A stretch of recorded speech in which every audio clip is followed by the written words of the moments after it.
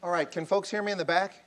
Uh, I, I, tell them that uh, if you've ever heard me speak, I normally don't need a microphone. My voice tends to carry, but uh, I know the, this room, the acoustics, so I, I, I, gave in and I'm wearing the microphone. So I just want to make sure you can hear me clearly. Well, um, if you walked in, it's a little brisk outside. Uh, that wind, uh, it's a bit bracing. The ambient temperature, I think, is about 28 degrees. That's not too bad, but that wind, it's really cold out there. Uh, contrast that with South Africa, where in the southern hemisphere, it's currently summertime. And people are enjoying 72 degree temperatures in Cape Town and about 80 degrees in the capital in Pretoria. So uh, life's a little different on the other side of the world right now. Well, thank you kindly for uh, that kind introduction. Uh, I do have a, a, fair amount of experience on the continent, and I do tend to talk fast. So if I get too fast, just kind of raise your hand and, or do this like slow down sort of thing, okay? Uh, I, I, get kind of excited. I'm very enthusiastic about Africa and South Africa in particular, which was my first love in Africa. Another thing is I like to connect with the audience. So if I walk amongst you, uh, it's not because I'm a Lutheran minister. It's just because I like to. I, I, I, see some Lutherans in the crowd.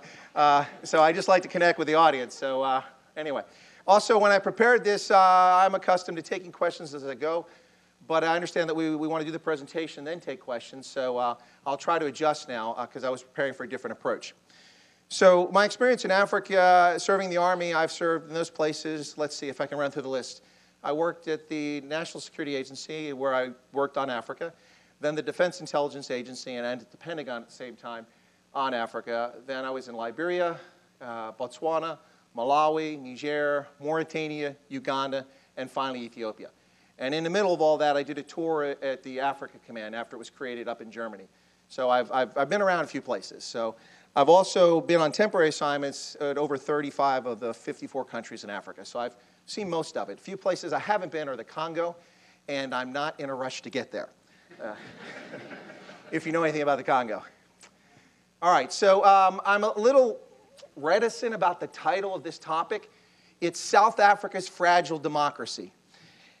Here's the thing if you're an Africanist like myself and you talk about Africa, it's very easy to start talking about all the challenges and all the problems and all the things that people think are wrong or going badly.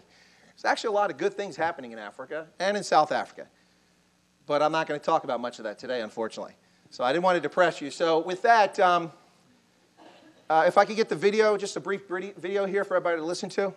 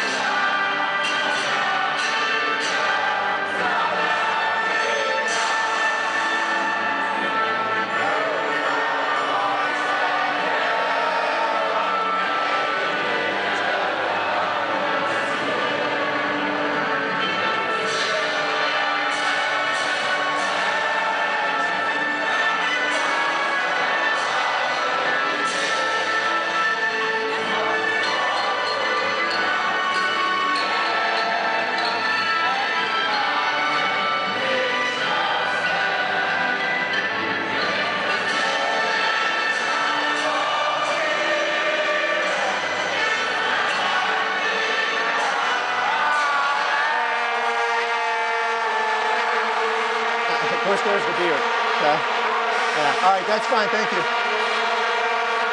Can you stop the video there, please? Thank you. And switch back to the, uh, to the, the slides.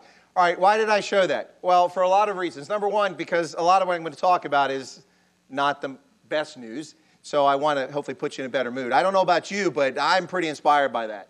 That is South Africa's national anthem. And for those who didn't see the bottom corner, that is the opening ceremony for the 2010 soccer World Cup in South Africa, or as most people around the world call it, football. Uh, but come to America, we set them straight. It's soccer. Which, little known fact, is the original name for the game created by the British. And they called it soccer until the 1960s when they abandoned it and started calling it football like the rest of the world. And then the Brits looked down their nose at us because we're, we're a bunch of bumpkins because we call it soccer. But anyway, little side note. So um, the thing about that anthem is that it is an anthem that came from the original score. The music was played during the racist apartheid regime. They had the same song, just all the lyrics were in Afrikaans.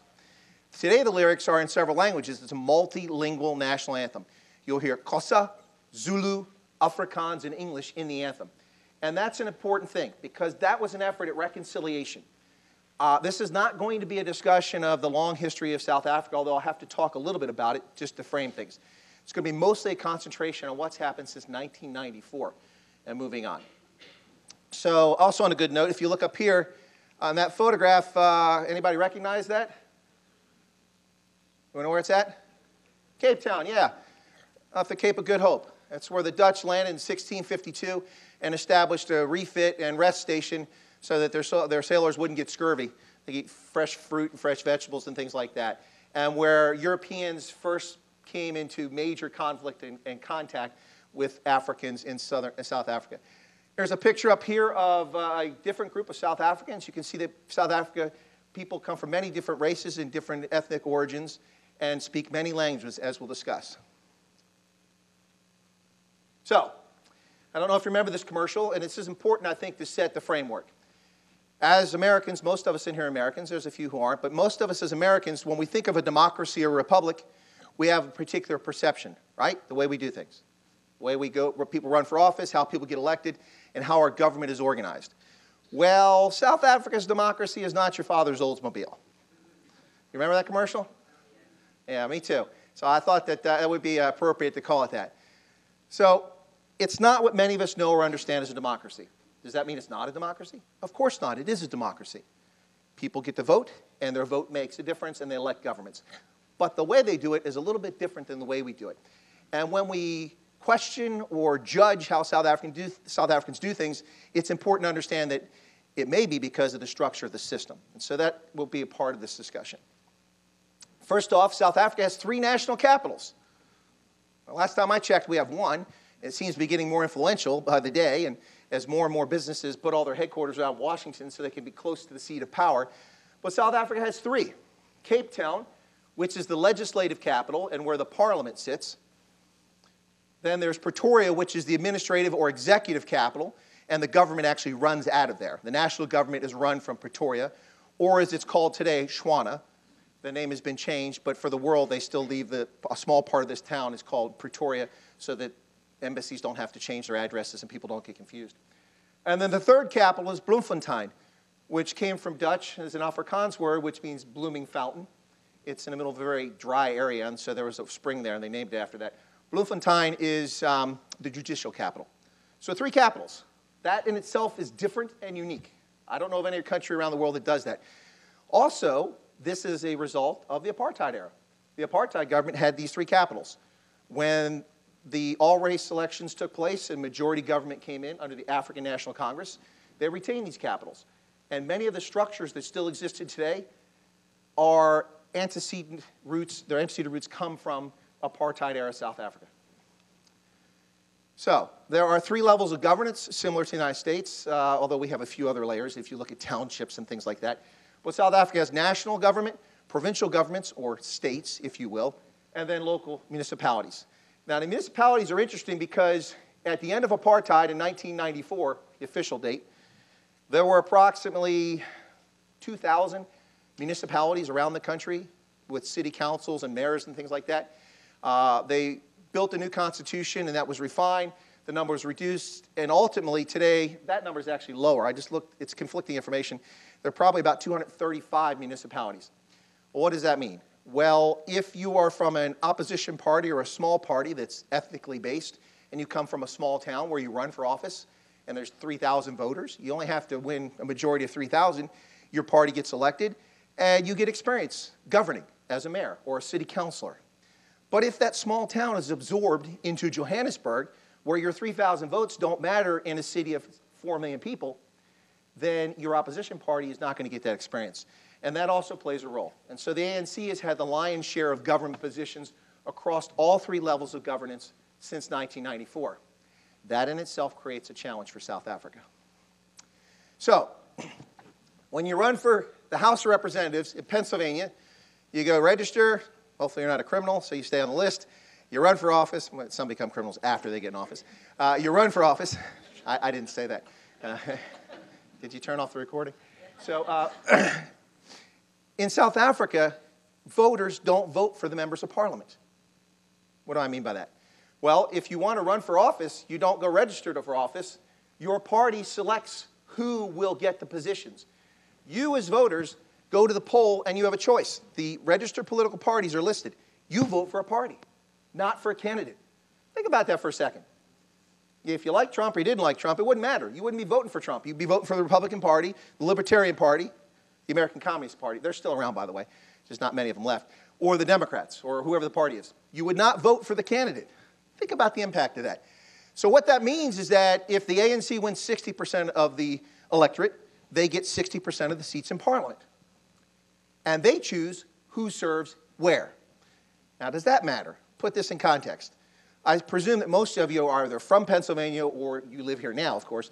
So, if you are from California, I suspect that you may have different thoughts or values, even though we're all Americans, about how you address your local government. But what if you voted in the election this fall or next fall, and you voted for your party, and the person that represents you comes from Oregon and moves here and represents you?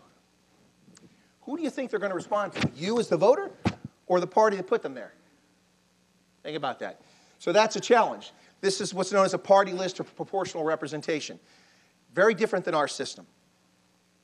Very much a parliamentary system. And then South Africa's government's a little strange because it's a mix of parliamentary with some systems similar to ours. Uh, and I'll explain that a little bit as we go forward. So they have a bicameral legislature, like we do, House of Representatives and the Senate. They have the National Assembly, which is what we normally think of for South Africa's parliament, which has 400 members in the National Assembly, and the National Council of Provinces, which, similar to our Senate, is the upper house. Uh, but it, it, it doesn't get as much attention. It only has 90 members. South Africa has also had some interesting things under its constitution. By the way, if, if, if, you've read our constitution, it's, it's pretty succinct. It's rather short, isn't it? The United States Constitution doesn't take a long time to read unless you're really trying to read slowly. South African Constitution is 176 pages long. It's considered by most analysts around the world to be the most liberal constitution on the planet. It enshrines rights for all sorts of things and all sorts of people and it is considered by many to be the most fair and most comprehensive constitution. But I will tell you that I can't profess to be an expert on it. I'd have to refer to it because I can't remember 176 pages of anything, let alone dry legislative things. But there are some things that take place in South Africa which have an impact on their democracy. Now, this is no longer in place, but it had a role in ensuring the composition of the parliament until 2009. It was known as the floor crossing exercise. Now, think about this. This is important because we talked about the parliament or the, the party list and selecting people based on proportional representation. So, in the early part of the Odd decade, or you know, the, after the turn of the century, there, uh, a, a, opposition party asked because they were merging with some other opposition parties, and they wanted to be able to form a bloc. Prior to this law that was put in place, if they merged, they would lose their seats in parliament because someone would leave one party and join another party. If you're following me. So let's say you're, you're green and you're red, and because your opposition parties you want to merge after election, you do that, well, you'd have to give up all the seats on one side. So the, the minority parties asked for an exception to this, and they passed legislation that allowed for floor crossing. And what the floor crossing meant was that at, during a two week period in every parliamentary session, any member of any political party could change political parties. So if you were in the National Party at the time, or the Democratic Alliance, you could join the ANC, or vice versa. So think about this for a second. If you're the party in power and you hold the keys to governance and you run the budgets, and ministers and deputy ministers uh, get luxury BMWs and Mercedes as a perk of their job, housing allowances and staffs. If you're the ruling party and you want to up your members of parliament, what might a neat tactic be? To offer something like that to people from the opposition party. Now, that's people do that in government. That's you know, patronage is not unusual. But what it does is disenfranchise the people who voted because they didn't vote for that person. They voted for their party. And now, during this two week period, which I consider to be anti democratic, you can leave the party that voted you in and join the other party, leaving your party in a weaker position. This, fortunately, went away in 2009. They eliminated this provision. You can see the insidiousness of this. It's a real danger. For, there was a period when the Democratic Alliance, which was the main opposition party, for the first time ever, woke up and realized that mostly white voters were paying attention to their party. And that if they want to govern South Africa, they have to appeal to more than just white folks. So they made a concerted effort to get more black Africans to join their party. And again, they get to select who the ministers will be. So they picked uh, five or six black African ministers who joined their party. And then when they got their seats, based on the percentage of votes, they put them into parliament. The first floor crossing exercise, every single black member of the Democratic Alliance left the Democratic Alliance and joined the African National Congress. Now, that in itself is bad, but it gets worse because what did the African National Congress do? See, it's the party of the whites. They don't like black people. Look at this. You can see the perversions that take place with this going both directions. Fortunately, this disappeared, so it's no longer in South Africa's law. The parties select the MP or member of parliament, not the voters, I mentioned that, and the location. So, one of the problems we had in the Western Province a decade ago, that's the area around Cape Town, the ANC won governance of the province for the first time. In the first elections in 94, they didn't win. The opposition party won. Then they retook it later on. When they took control of that province, they used their term, we deployed our cadres. I'm sorry, I've been in the Army since the Cold War, and I remember fighting the Soviets, or at least preparing to fight Soviets. So when I hear cadres, I get a little bit nervous. It makes me a little, but the ANC talks, that's their vernacular. We're deploying our cadres. They took people who were not from the same region, and at the time, the largest percentage of people who lived in the Cape Town area were white European descent or mixed race, or as they say in South Africa, colored, which is not a 1950s racist term in America that we're accustomed to, but actually it's a term that most South Africans who are in that mixed race group, they adhere to it, they take it on as their own, and they're proud to be called colored. So I just need to put that out there so you don't think I'm stuck in Selma in 1956 here. Um, so mostly whites and mostly colors lived in Cape Town. What did the ANC do when they took over? They took people who were loyal to the party from other parts of the country and deployed their cadres and sent them to Cape Town. And then when people came to talk to the representative in Parliament, they didn't listen to them. They weren't even the same. They were black Africans, not mixed race or whites, and they didn't, they didn't want to talk to people there because their loyalty was not to you as the voter, but to the ANC. And it would be the same situation if the other party was in power. President of South Africa is the head of state and he also runs the government. So, chief executive, similar to our system, but there are differences. Nobody voted for Nelson Mandela to be president, but he was president, right? Nobody voted for him, though. People did vote for him, people in his constituency. In a parliamentary based system, he ran for as a member of parliament in his home district, and he was overwhelmingly, of course, elected. But he was not chosen by the people of South Africa. Of course, that was the sentiment. The people of South Africa obviously wanted him to be president, overwhelming majority of people, almost all. But the National Assembly votes, and the National Assembly selects the president, just like Prime Minister in Germany, or Chancellor, or uh, Chancellor in Germany, or Prime Minister in the UK. It's the Parliament that selects the president. Difference being, he's not a Prime Minister. And that's a very key distinction between South Africa, Europe, and the United States. Uh, in the United States, our president is not selected by Congress. God forbid. We'd have some challenges. So, since he's in essentially a parliamentary system, very much like a British or German government, the government can collapse at any time.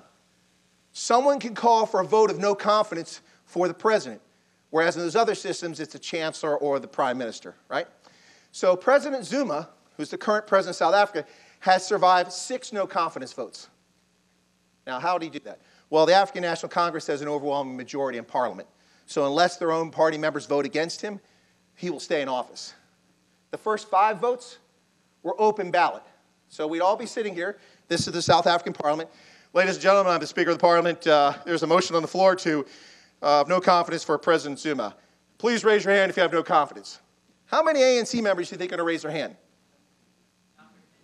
Now I'm going to hand you a secret ballot, like a normal election. Cast your vote. In August, there was a vote of no confidence, the first secret ballot ever. President Jacob Zuma survived in office by 11 votes out of 400. At least 35 men. We don't know because it's secret. We didn't see who voted for what. But we can safely assume that most of the African National Congress did not vote to unseat him. But there are smaller opposition parties with seats, and some of them might have voted for him to stay. And that means if they did, that more of the ANC, but at least 35 members of the ANC, secretly voted to depose this guy and send him packing.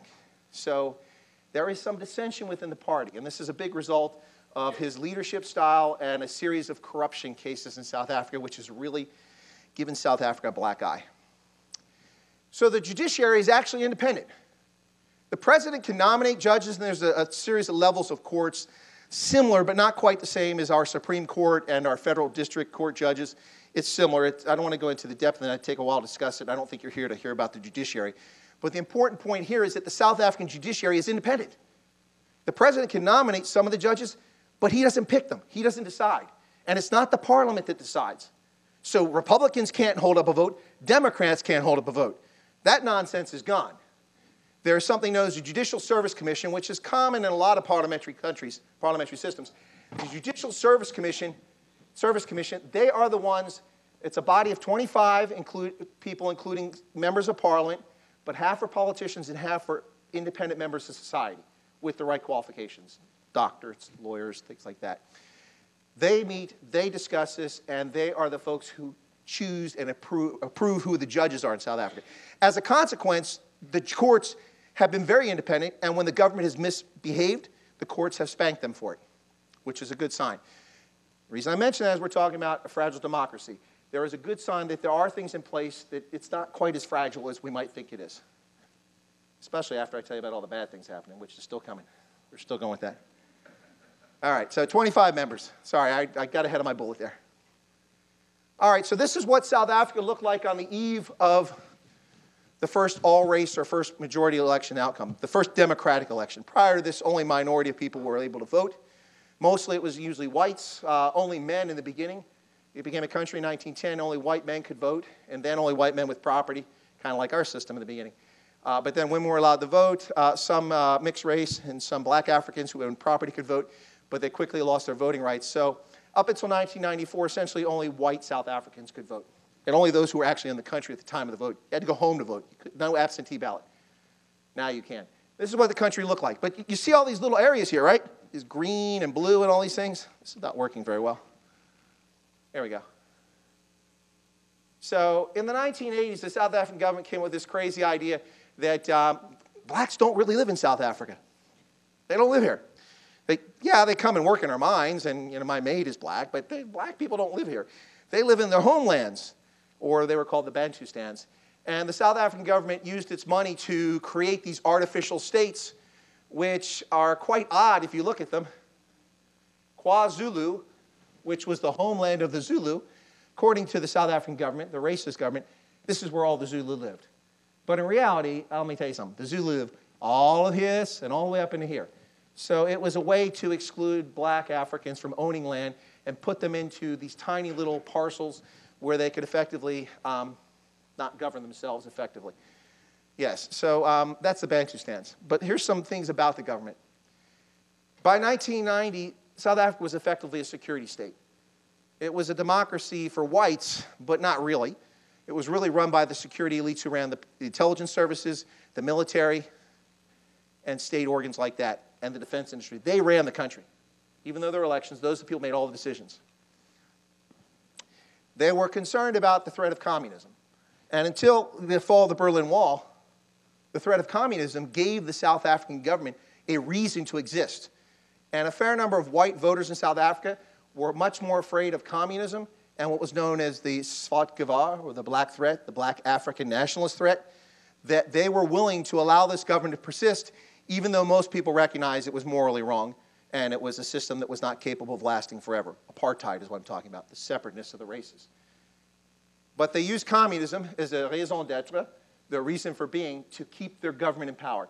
But when the Soviet Union collapsed and the wall disappeared, the South African government looked around and said, Ooh, We've run out of excuses. And this is one of the primary reasons why apartheid finally came to an end. A lot of people, and I, it, it may sound as if I don't like the African National Congress. I should tell you up front that I have a great deal of respect for the organization as a liberation era movement that tried to end races and bring freedom to all South Africans, no matter what their race is. But they have had difficulty transitioning from a liberation movement to a governing political party. So I do have a lot of respect for them, but also it, the reason I mention that is because it's going to sound like I really don't like the ANC based on the things I'm going to tell you. But I didn't do these things, the ANC did them, so you be the judge of that. But the, Af- the, the national party that ruled apartheid South Africa was very much like the African National Congress is today with corruption. It was a patronage state in which a small white minority handed out jobs to favored friends and acquaintances and families. And it was a place in which the people who the system was set up for benefited from it, but they did it corruptly. Not everybody was corrupt, but my point is that the system was a system of patronage, and there was also corrupt contracts with defense manufacturers and things like that, because some of that's going to come up now. So, in some respects, there are governance issues very akin now to what you saw during the apartheid era. It's just that most people have conveniently forgotten, especially white South Africans, that their government was corrupt and was full of patronage, and many of the things they're unhappy about today actually existed when there was a minority government. So you had, and you still have, I don't like the term third world, but it's, it's the best way to explain this is first and third world. You had, and you still have in South Africa, a first world economy, infrastructure, and right next to it's the third world. If you go to Cape Town, you land at the international airport, the first thing you're, you're, you're assaulted by when you go out the airport in a cab and go into Cape Town are informal housing, townships where people have no plumbing. Now, some of that's changed, but it's still there. And then you drive into Cape Town and you see mansions and gorgeous houses and clean, well manicured lawns and electricity and all the modern conveniences you can think of. So you have a developed world and an underdeveloped world right next to each other. I mean, literally a stone's throw apart. Literally, you can actually throw a stone from a housing area to a mansion in South Africa in some places. The police during apartheid were very effective. But their job during apartheid was not to protect South Africans. Their job during apartheid was to protect white South Africans and expatriates who were living in South Africa and to oppress the majority. So they had very good secret police who were great at detaining people who showed any signs of objecting to that government. And they're also good at effectively sealing off white communities from the crime and violence. And so when the end of apartheid happened, a lot of white South Africans who were, in some respects, a bit oblivious, not many of them knew what was going on, but they were oblivious to the high levels of crime that were already existent in South Africa, suddenly found themselves in the midst of it. And so in 1994, if you were white in South Africa, you almost never saw violent crime. It happened, but rarely to you. Now, it doesn't matter who you are. A few years ago, Brett Kebble, a billionaire mining mag- magnet, excuse me, magnet, a billionaire um, in the African National Congress, was assassinated in broad daylight at a stoplight in Sandton City, the most expensive square mile of real estate on the entire continent of Africa. Glitzy malls, shopping areas, multi million dollar mansions, stopped the traffic light, assassin came up, shot his driver in the face, and then shot him in the back seat. If you can assassinate somebody that well connected to the African National Congress in broad daylight in the wealthiest part of the country, then security is an issue. I mentioned the Bantustans these homelands were created. They play a role later on, particularly in the formation of the new military, but I'm not going to talk about the military today. At least that's not my plan. So the South African apartheid government saw all the countries to the north of it as the frontline states, and those countries saw themselves in the same light.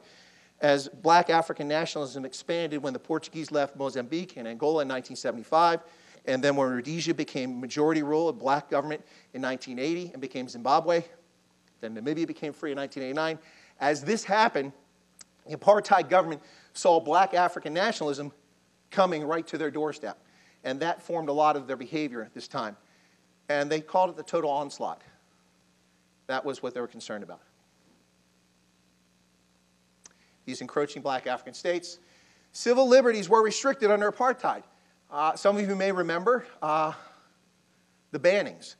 If you remember in, in, in South Africa in the 1960s, the 70s, and 80s, people who spoke out were usually talking about white liberals who opposed the apartheid system or university students could be banned, which meant that no one could talk to them. They would be under house arrest effectively, could never leave their homes, couldn't speak freely, and could not have civil liberties. And this happened to a number of journalists and some politicians as well. But civil liberties for everybody restricted. They used to have pass laws in which if you were a black South African, you could only be in the cities during the daytime for work, for labor.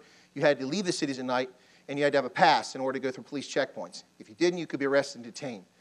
Uh, civil liberties were constrained. Today, South Africans, for the most part, have uh, the best civil liberties in the world. There are some restrictions on that, uh, some self limiting because of racism that the government has put in place. South Africa, under apartheid, had the largest economy in Africa, and officially, until just a couple years ago, still had the largest economy. But Nigeria had failed to update their, their economic statistics for about 15 or 20 years. So now Nigeria's economy is officially twice as big as South Africa's. But throughout its history, it genuinely was the largest economy in all of Africa. At one point, 62% of all electricity generated in Africa was generated in one country, South Africa. Of course, that's a bigger statement on how underdeveloped Africa was than it was on how developed South Africa is. Because when that was the case, only 35% of South Africans had electricity. So that, that tells you a little something about that. The best infrastructure in Africa, it still has one of the most powerful economies on the continent, and it still has the best infrastructure on the continent. Uh, the thing is, is that under apartheid, there were daily contradictions. First and third world communities right next to each other, liberty and complete restriction of civil liberty. So this is South Africa today.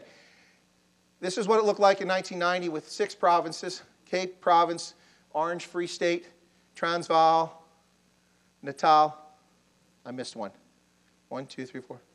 Sorry? Okay, yeah, so that was 1994. The, the country was reorganized for administrative purposes, and this is what you have today. So you have in the north Limpopo province. There's also been a, an, an effort to even things out and change things. Unfortunately, under apartheid, there were some less than fortunate or proper names for some locations, uh, including using um, some profane, profane names for some towns. A lot of that has changed, in part to reflect um, the heritage of groups who are near or come from these places. So, what used to be the Transvaal province has been divided up into three provinces Northwest Province, Mpumalanga, Limpopo, and Gauteng. Gauteng is, uh, means place of gold. That's where the gold comes from in South Africa. And they were the world's largest producer of gold until a few years ago. Now they're the fifth largest producer, and the gold mines are kind of dwindling down in South Africa. Uh, let's see. So you have KwaZulu-Natal, which is the homeland of the Zulu people predominantly. And then you have, um, let's see, what else? Mpumalanga is listed up there too. That's the place of the, um, excuse me, the uh, rising sun. And then Limpopo is named after the Limpopo River, which is to the north. The Cape was divided into three provinces the Northern Cape, Western Cape, and the Eastern Cape. Now, this is language, and it's misleading. If you look at this, you'll see that, right here, sorry. I know I keep bouncing back and forth between the slides. That's to make sure you're all awake. So, sure which screen you're watching. So it's working, huh? So the green stuff here, that's Afrikaans. That's what was originally 17th century Dutch, but rapidly changed over time. And while it's still closely related to Dutch, it became an African language in part by taking lots of loan words from African languages and borrowed words from, from people who came from Malaysia and Indonesia who contributed to the language. And it's become an African language. Uh, it's spoken uh, predominantly by white South Africans who came from that original group of people and the mixed race South Africans. But uh, a fair portion of South Africans can speak it as a second language because it was the language that was enforced during apartheid. Uh, but it's misleading on this chart because this part of South Africa is virtually uninhabited. So you can have a majority of people here and just have a few thousand in some spots. Whereas if you go in these belts here where the Zulu live, we're talking about millions, and here you're talking about a couple tens of millions in this zone. It's a heavy concentration here and then the Cape. So this is where the, the home regions of languages spoken in South Africa, which has 11 official languages. 11 official languages. And there's been a movement afoot to create a 12th official language. South African Sign Language, but it has not gone very far. So, 11 official languages. No government documents do not appear in 11 languages. that would be a bit cumbersome. Uh, they used to appear in Afrikaans in English. Today they appear almost exclusively in English, even though only one in 10 people have English as their first language in South Africa, which most people are surprised to hear. You think South Africa, they speak English here. Well, they do. Almost everybody speaks English to some degree. But for first language, language you grow up in the house with your parents, grandparents, only one in 10 people. And most of them are white Europeans. But these are the other languages you'll see Afrikaans, English, and Ndebele. And the Ndebele is a language also spoken in Zimbabwe.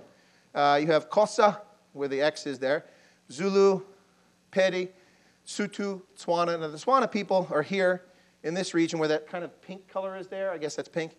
If you go across right here, if you know your geography, that's Botswana, which is the land of the Tswana speakers.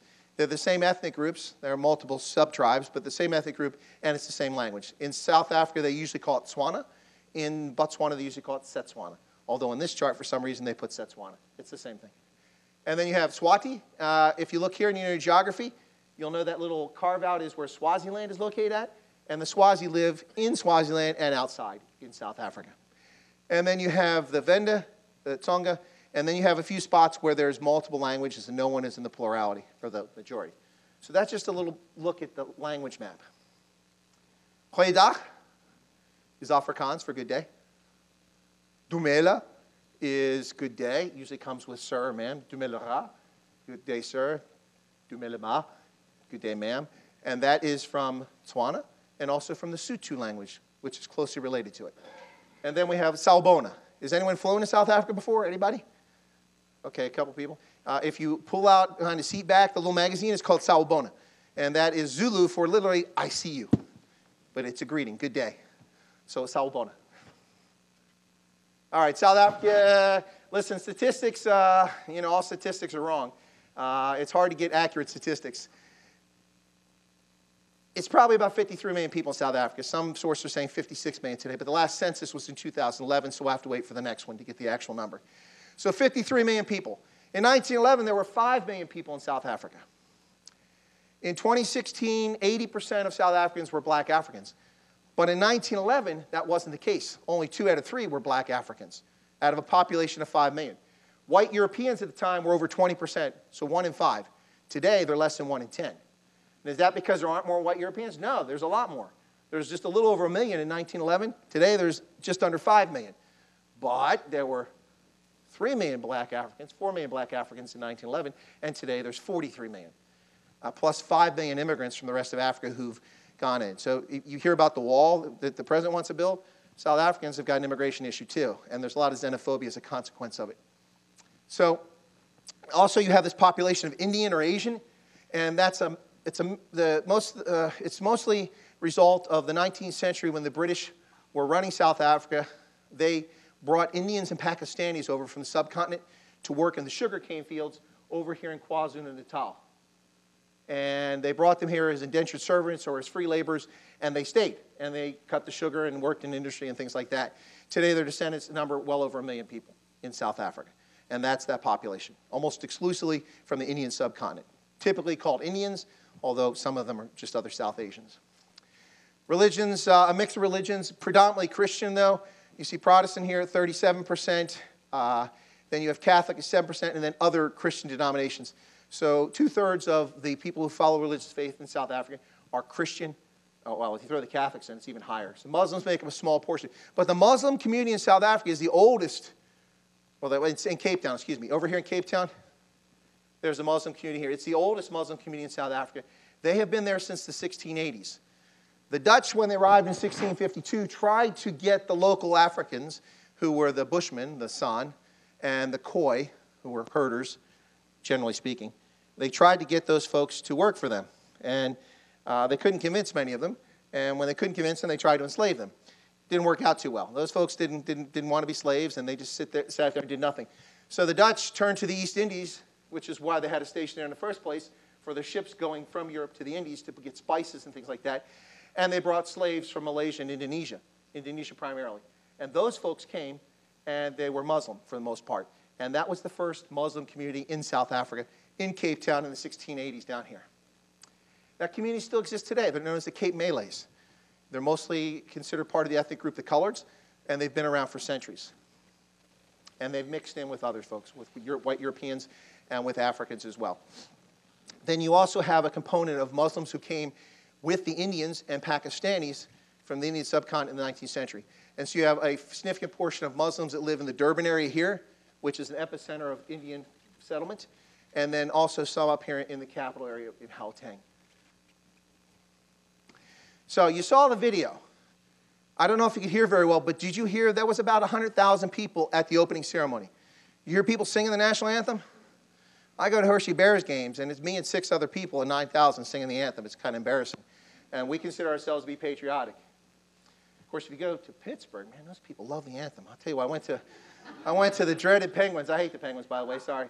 I went to Peg. Sorry, I guess you're going to leave now, right? No, I, I hate the Penguins, uh, but but I do like Columbus Blue Jackets. I went for the Stanley Cup playoffs, and I stood up, and you know, it used to be we were prohibited out of uniform from saluting, but they they changed regulation, and now as soldiers we're allowed to salute out of uniform. So I proudly salute every time the anthem's played, and I sing it because I know the words because I'm from Baltimore, and if I didn't learn it, I couldn't go home at night. So you're laughing, it's true. Public school, it's not just those Catholics that do that stuff. Anyway, so uh, so I'm proud of the anthem, and I sing it. But when I went to Pittsburgh and I, I stood up and I put my hand up to salute, and there was like 18,000 people singing the anthem, I almost fell over. But I love the Bears, but when I go there, it's me and six other people. I think we're going to start a club. Anyway, but if you think Americans are patriotic, oh, good Lord, South Africans are patriotic. It doesn't matter ethnic origin. And it's not just like a lot of the world, soccer. Yeah, oh, yeah, okay, I'm from wherever. Yeah, yeah, I'm French because of soccer. No, these people love their country. They may not love their government, they may not love their history, but they love their country. I have been a few places in the world where I consider to be uber patriotic. I would say the United States is one of those. I think most of us can agree we're kind of uber patriotic. And, and I, I mean that in a good sense. Sweden, you can't go around Sweden and go past a farmhouse or a property without seeing a Swedish flag flying. It's, it's, it's amazing. Those people are very patriotic, and I'm still trying to figure out why. Their flag is kind of cool, so I'm not sure why. Anyway, uh, Botswana. People in Botswana are very patriotic. If you live in Botswana, it doesn't matter if you're white, you're black African, or you're Bushman, and somebody asks you in Botswana, what are you? Hey, que Botswana? I'm a Botswana. I'm a, I'm a Botswana. They forged a national identity in just 50 years in South Africa. Whoo, they're very patriotic. But these people are worse than us about complaining. Sit down for a beer or a braai, which is a barbecue with South Africans of any group, and invariably within minutes they'll be complaining about the country and their government. So we have a lot in common.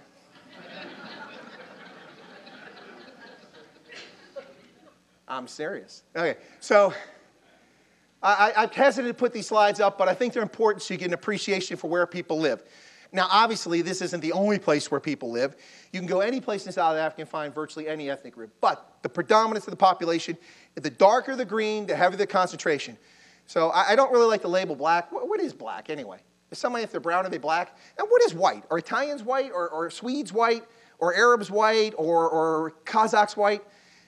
We all get the sense of what that is, but I'm not sure I like that label. But these are clear ethnic distinctions in South Africa. So black South Africans, you can see, live in this area predominantly. Not many in the Western Cape, just a handful, right? That's the stronghold of the opposition party, which was originally perceived as the whites party, the post-independence, post-94 white party, if such a thing exists. And that's their stronghold down here in Cape Town, the Western Province. You look for white South Africans, it's lighter, but there are about eight, seven or eight million white South Africans. They're down here in the Western Cape, but also up here, where all the money's at.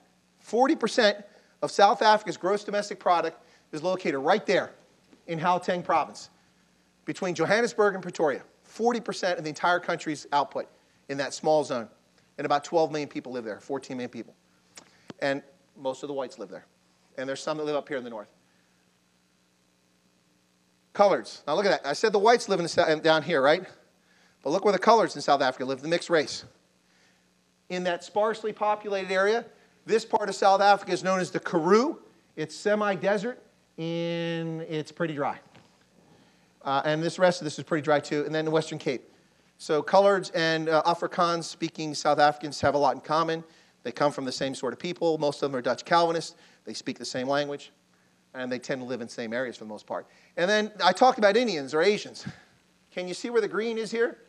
Right there around Durban? This is where the majority, okay? So as only 2% of the population, it's going to be hard to do the majority in, in physical space. And then also up in parts of Gauteng. There are big Indian communities up there, part of the business community. All right, so some select factors here. Am I doing okay? Can I keep going? Okay. So Yeah, we should ask the audience, not the guy in charge, right? I was asking the guy in charge. Sorry, I'm in the Army. So, Anyway, uh, so social indicator. Let me let me point out a few things here. You can look at this chart. It's not critical. Uh, South Africa has some development issues. I mentioned a first and, developing world economy side by side. A population about 56 million roughly. Uh, life expectancy 62, but I find other sources to say it's 57. It's not as good as other parts of the world. Uh, in part, that's because of HIV, and I'm getting to that. Uh, fertility rates, by the way, I'm sorry, the, the brackets are from 1990. Okay? I, this is current, or as current as I can get, mostly from 2016. But the brackets, you compare it to 1990. So in 1990, the lifespan was 62. It hasn't gone up. And that's because so many people have been affected by HIV and died from it. They've had uh, a few million people die from HIV in the last 20 years. Uh, and then the fertility rate was 3.7%. It's 2.5. That's a good thing. That means population is going to stabilize. It's not going to keep growing out of control. School enrollment was only 66%. Secondary school, right? should say secondary, yeah, secondary school. So only 66% of South Africans went to high school in 1990. Today it's 99%. Big improvement, right? All right, so good news, right? There's some good news. Okay. I knew I was going to find some somewhere here. Uh, this is the scary part here. Less than 1% of South Africans were HIV positive in 1990. Today, it's 19%. That's across all ethnic groups. In some ethnic groups, it's hit more hardly than others. More, it's hit harder than others. Um, that's a little bit scary. Now, this statistic I'm skeptical of because I found multiple statistics, but it said that in 1990, 82% of South Africans had access to clean piped water. Uh, I found statistics say it's more like 30% of the population had access. Most people that didn't live in white areas didn't have municipal water, didn't have uh, sewage, didn't have plumbing. Uh, but whatever the case is today, 93%, it should be 100%, right? Unless you're like me from Appalachia, and then you fetch water from a cistern. But uh, true story, by the way. But uh, it should be 100%, but it's 93%. But that's tremendous improvement, yes? So why does that matter? Well, if people have to waste time walking and fetching water from a well, you know, you lose a lot of time coming back. Not to mention, if you don't have clean water, what do you get? Diseases, right? And that affects things. So here's some more. Improved sanitation. 51% had sanitation, sewage, plumbing, that sort of thing. 66% today. Now this is this looks good, but it's not good. 115 billion was the size of their GDP in 1990 before apartheid ended. Today, now this figure you see multiple, but that's the closest to reality is about $300 billion. So what's almost three times as large, right? Factor in inflation, which was running at 5 to 7% per year, and that becomes a lot less impressive than it actually is. That's not the good thing, and we'll talk about that coming up. Uh, in 1990, foreign direct investment was negative. People were taking money out of South Africa because of apartheid, disinvesting, and today it's uh, two and a quarter billion dollars last, last year. And then official development assistance, um, that money was being pulled out too. And today there's about $1.4 billion a year in formal assistance from foreign partners. Uh, this chart here shows you the gross domestic product growth rate in South Africa. South Africa, based on its situation and wealth disparity and the level of income for people, would consistently need at least 5% GDP growth year on year for at least a decade before they make significant progress in improving the lives of the entire population.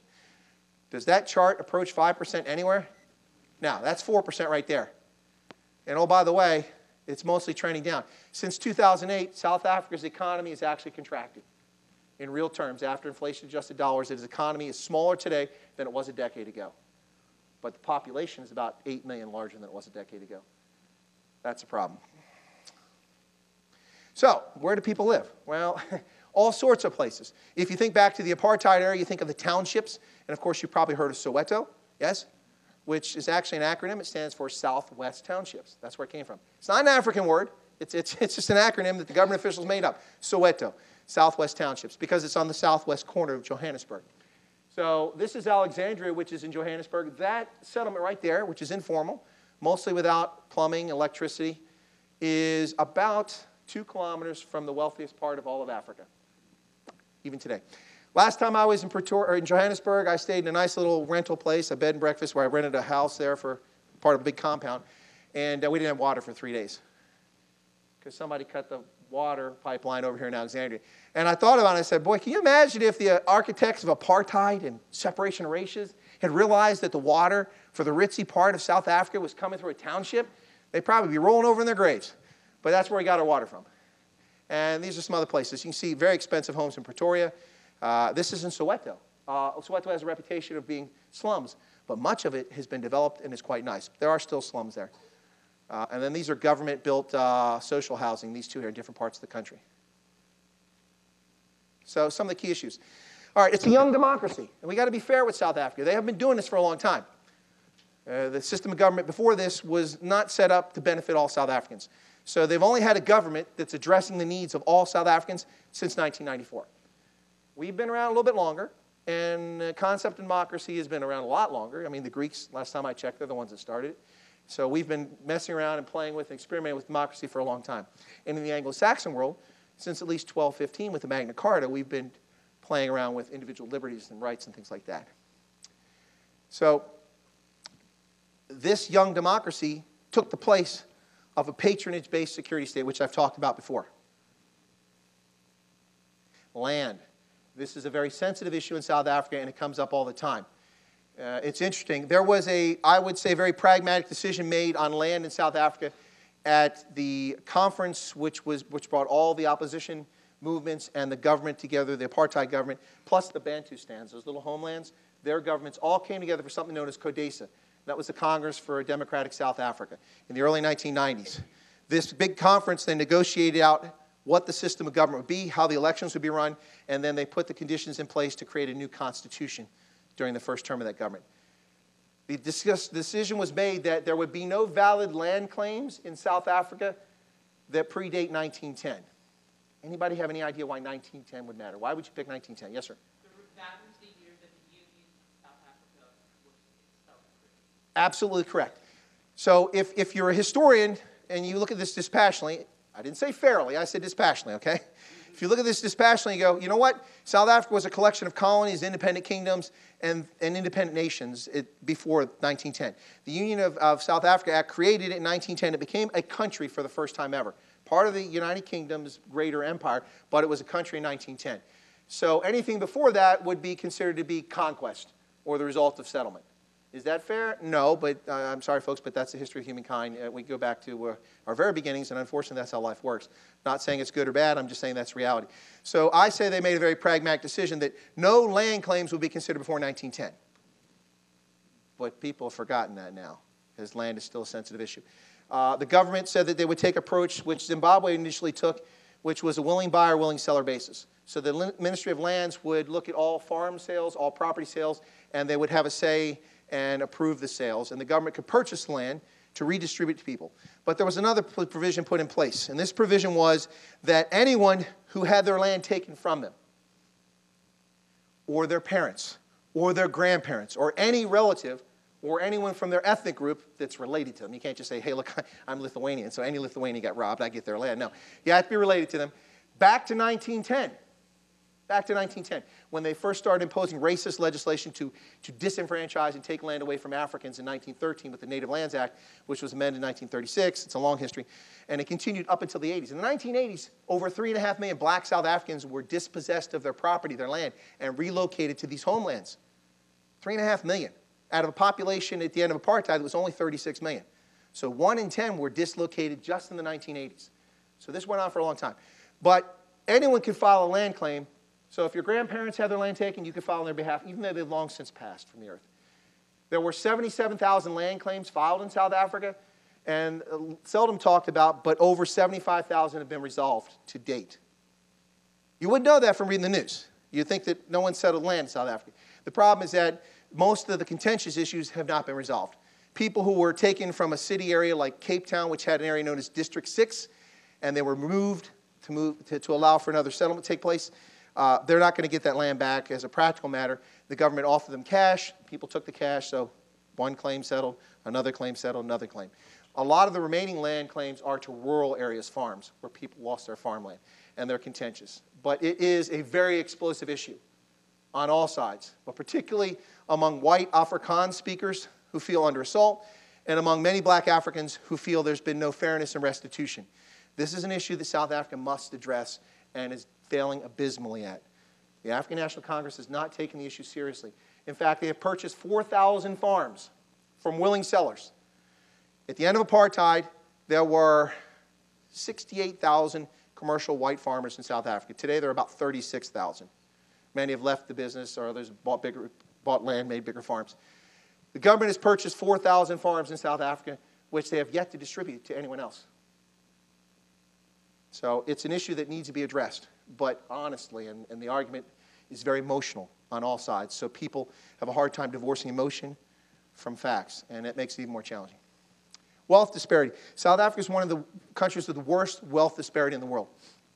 If you're familiar with the Gini coefficient, which shows wealth uh, disparity, a number of something like 25, just for a baseline, is good. Um, if you're looking at for evenly uh, distributed, distributed wealth, excuse me. South Africa is 64. Higher numbers bad. Uh, the United States is, um, we're like 41st in the world. So it's not great, but it's not as horrible as people make it out to be. Uh, there was an effort to address this at the end of apartheid with the Mandela government. They had something called GEAR, Growth, Education, Redistribution. It did not work very well. It was a noble idea, but it didn't really distribute wealth very well. Then they came out with BEE, Black Economic Empowerment. For the ANC, black is anybody that's not white. For South Africans, that's not black. Blacks in South Africa are black to them, to others. Coloreds are colored, South Africa for the most part, although some consider themselves to be black. And whites are whites. Uh, so the, South Af- the, ANC said anything, anyone who's not white is black. This was a program set up to direct contracts for government services and procurement to black economic enterprises and to help found them. And there were a lot of mechanisms took place here, but one of the things that did happen is that the government pressured multinationals and large South African corporations to divest parts of their shares of their company. So you give away 25% of your stock to a group which is recognized as a black economic empowerment group. Unfortunately, this did not make South Africans wealthier. Want to take guess what it did? It made a small number of black South Africans very wealthy. So now instead of a small number of very wealthy whites who have all the money, you have a small number of very wealthy whites and a fair number of very wealthy blacks who are connected to the government, and one of them is Cyril Ramaphosa. And we'll talk about him shortly. There's another term floating out there now, which is part of this whole discussion. It's called white monopoly capital. And that's a discussion about, about all the wealth being concentrated in the hands of white South Africans. And that's a fair argument. Uh, wealth is concentrated per capita overwhelming in the hands of white South Africans. But if you look at stock market capitalization in South Africa, white South Africans own about 23% of the stock as a group, and black South Africans, including all the other groups, own about 21%. I'm not good at math, but that's not 100%, right? Who owns the rest? Everybody got a pension? Got a 401k plan? You probably do. The rest of the world, foreign investors own big chunks of South Africa's equity outside the country. And yeah, there are a lot of you probably white, but anyway, so, but the label white monopoly capital is out there. It's not, it's not fictitious, but, but it is a term thrown about to complain about the disparity. We might want to take a break shortly, yes? Or keep going? Okay, okay. All right, so expropriation, redistribution. So, what is the solution to this wealth disparity and the lingering effects of racism in South Africa, which still exists, trust me. I've been to South Africa about 450 times, maybe 500 times. I lived next door in Botswana, so I was 20 minutes from the border, so you imagine where I went every weekend, because uh, I love Botswana, but trust me, Gaborone is a very boring place to be. Uh, hope there's no Botswana in the room. Anyway, uh, yeah, so expropriation, redistribution. The African National Congress is not addressing this from the perspective of many poor black South Africans. We voted you in. It's been 23 years. You were supposed to fix things. How come I'm still poor? How come I, my kids go to school and they have to walk there and there's no school books? Fair questions, yes? To be fair to the ANC, they inherited a mess. It takes time to fix it, but it's been affected greatly by corruption, which has affected this. So a lot of folks are upset about this. So inside the party itself, it's fracturing. There are factions inside the party, and we just saw this play out in December in the leadership crisis about who was going to succeed Zuma as president of the party. You saw two different camps one that was for expropriation, taking property away, taking all the big mining companies and giving them to black Africans. I'm not really sure how that works in principle unless you give everybody a share of the company, but, but the point is to take it away from um, white monopoly capital and redistributing land and redistributing property. Uh, Zimbabwe tried this. Uh, I don't know if you followed events in Zimbabwe the last 20 years. It hasn't gone very well. Um, and it didn't go very well for some other countries in Africa that have tried it. And it didn't go very well for Uganda when they kicked out the Asians in the 1980s, 1970s, excuse me. But there is a genuine sense of frustration and expectations. If you all remember, and I'm sure all of us are old, old enough in this room to remember, trust me, 1994 and the all race elections, the world was entranced with South Africa, the rainbow nation. Mandela becomes president. So much goodwill for South Africa. So much pent up desire for South Africans to succeed. Imagine if you were South African. you finally get to vote. People stood in line for nine hours to vote for the first time in their lives. 89 year old women who never had the right to vote, standing in the hot sun for nine hours to vote, and they got to cast their vote. Because it was symbolic, but they wanted change. But most South Africans, many South Africans, they've seen very little change, and so they're frustrated. Who do they blame? They blame the ANC, right? Some still blame apartheid, and some of that's appropriate, but not all of it. Race, very complicated issue. Woo! We can talk about this for days. Uh, but it, the important thing I want to talk about here is it's a political tool used by whites, blacks, coloreds, Asians for political gain, just like anywhere else, right? You know, in New York, you know, these damn Irish coming in here. No Irish in the bar. Get out, you know. That's not race, but that's ethnicity. But you get my point. It's a very complicated issue. I can tell you that if you went to Botswana and you're a white woman and you're with a black man, nobody notices. Nobody cares in Botswana. Honestly, I swear to God. Go there. Check it out. Date a black guy, date a white guy. Go check it out. It's not an issue. It's not something people focus on. But you can drive an hour away and go to Zeerust across the border in South Africa and be a white woman with a black man still today. Ooh, people are going to notice that. Or be a white man with a black woman. Of course, that's probably less of a thing that people pay attention because they probably figure a sugar daddy relationship there. But, but, um, but it is a very sensitive issue, and people still talk about it. And there are real concerns there. There are some South Africans of all races who are stuck in apartheid, who are stuck in the ideas that one race is better than another, and they can't get themselves out of that. Either they don't want to or they're not capable of it. And this affects relations in South Africa. Uh, there have been very significant issues the last couple of years where, where white South Africans have made a very rude or, or racist comment and uh, they lose their job or they're hounded out of town. And now it's happening to black South Africans too for saying the same sort of thing. They actually have things in place to talk, to prevent people from abusing people. Human dignity is guaranteed in the Constitution. So if you assault someone's human dignity, you can be brought up on charges. of course, using racist terms could assault someone's human dignity. So it's a very complicated thing. But, but bear in mind that all parties use, not all people, and not all political parties, but all groups in one way or another use race as a political tool, even to this day. Corruption. Oh, good Lord. We could talk about this for about three weeks. And this is one of the reasons why I personally am frustrated with the African National Congress. Great respect for them as a liberation era movement to help end apartheid they weren't the only actor, but they were an important actor during the end, ending apartheid. But corruption is beyond conception. It has gotten so bad that many young South Africans see the path to prosperity and wealth accumulation as gaining political office. Why? Do we pay public servants a lot? No. But when you're in public office, you control where the contracts go. When you control where the contracts go, you get your cut if you're corrupt. Now, not everybody's corrupt. It's not the majority of the population in the party, but it is quite common. The arms deal, right after the ANC comes in power, in the late 1990s, they negotiated an arms deal purchasing submarines from the Germans, jet fighters from Sweden, cruisers, naval cruisers from the Germans, and a whole bunch of other military equipment on the order of about $6 billion of military hardware. South Africa has no neighbors that are threatening its borders. Uh, it uses forces almost exclusively for peacekeeping, going abroad. Last time I checked, submarines don't work very well in the Congo. Um, not that I'm criticizing the arms deal. I mean, I am in the Army, you know, arms, it's okay. No, but uh, the, the upshot of this is that instead of focusing on development, they had this big arms deal. And people are like, why are they buying all these arms? Until a few years later when we discovered that, ooh, a lot of well connected senior members of the ANC were getting money in their pockets for directing contracts to Thomson and Thales, the French firms, and for directing contracts to other companies. And it was a big scandal. And guess who was also part of the arms scandal, who's been indicted and has charges against him for being complicit in this? President Jacob Zuma. This is arms deal nearly 20 years ago, and it has not left the scene. It is still a political issue today.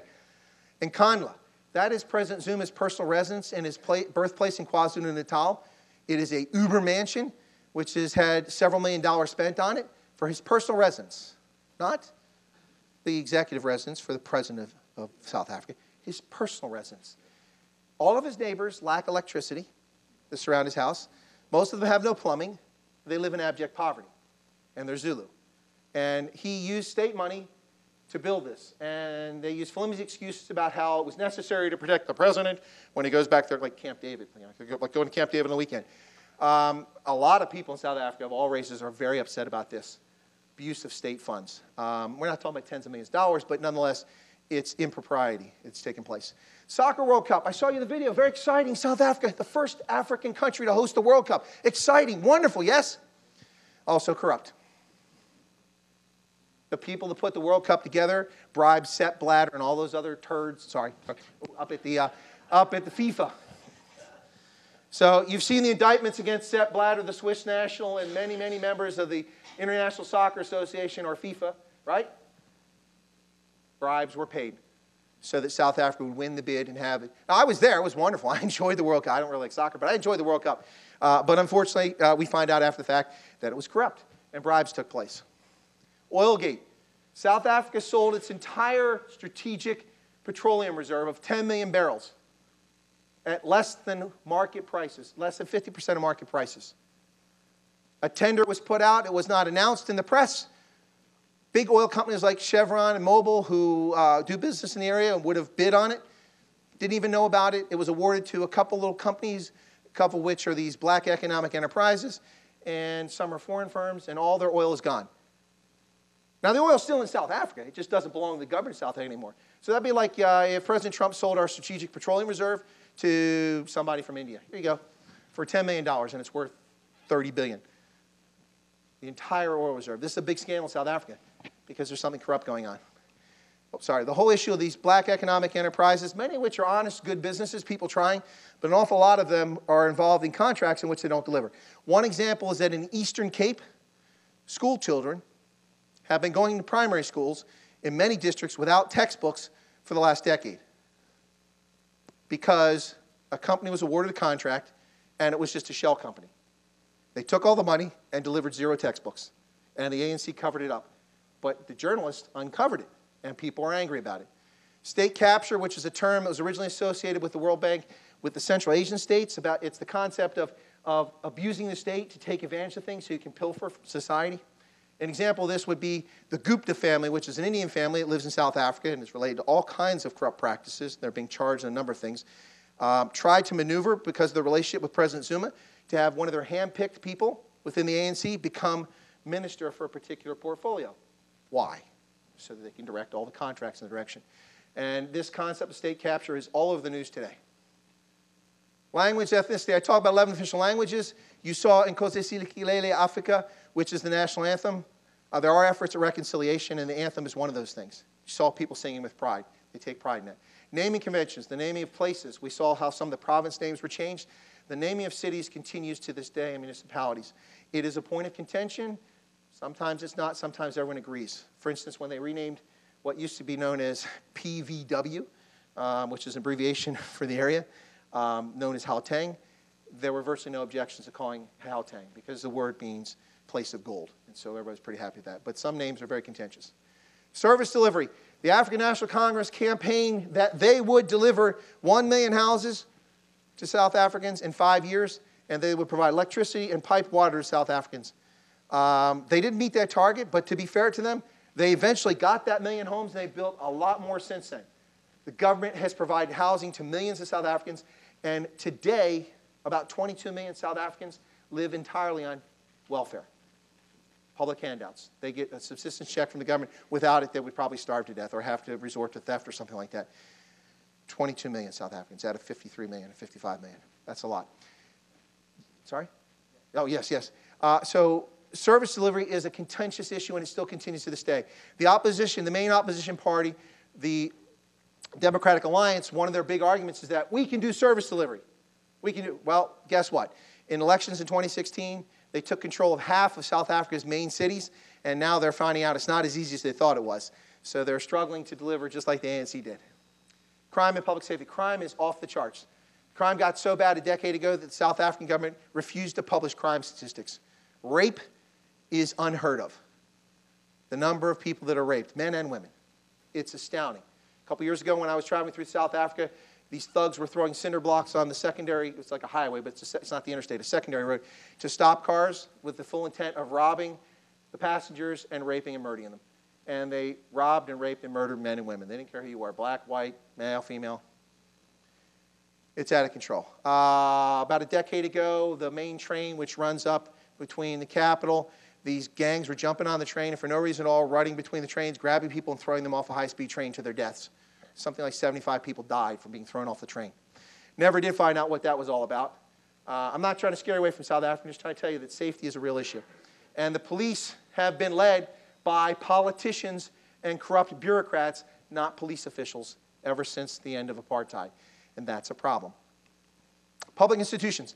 This is the good news. South Africa has a lot of public institutions within the government and in civil society that are very effective and, in many respects, largely independent. And in many ways, they are what has helped keep the glue to keep this whole thing from falling apart while the ANC is trying to figure out whether they're going to govern honestly or they're going to allow these criminals in their midst, and there are plenty of them, to continue. The media, South Africa has a vibrant media. Oh, they do a lot of investigative journalism. There's a very popular show that's been on for over 20 years now, about 30 years, called Carte Blanche. And Carte Blanche is an investigative reporting series, something like 60 Minutes used to pretend to be back in the day, you know, 40 years ago. They actually go out and do investigative reports and they catch people. I remember watching a program 20 years ago in which they went out and many South Africans use public transportation.